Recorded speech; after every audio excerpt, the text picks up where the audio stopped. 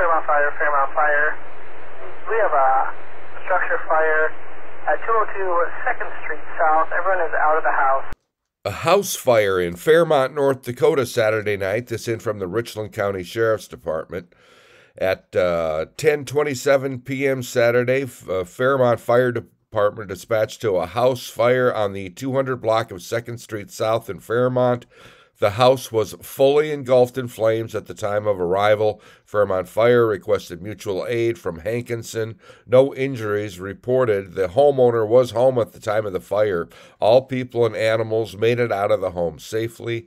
Agencies on the scene included Fairmount Fire, Hankinson Fire, Hankinson Ambulance, Richland County Emergency Management, and Richland County Sheriff's Office.